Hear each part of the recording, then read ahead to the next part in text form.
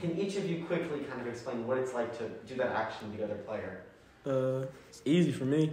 Um, anytime you get to play with a guy like Thon in the pick and roll, guys play in the league, I tell him all the time, just roll and you'll score. I'll give it to you. He he knows. I'm hard. I'm harder on Thon than I am on anybody on the team. Anybody else on the team? Just because I just because I understand like if Thon's playing like this, when Thon's playing like this, we're really really hard to beat. And you we've seen it the last two games. So I mean, just it's fun. Yeah, it's it's harder for teams to stay in front of him. Like when he's on, when he's getting in that zone, knocking down threes like that. At that point, anything he does going downhill is too easy. Like cause he just picked the defense apart.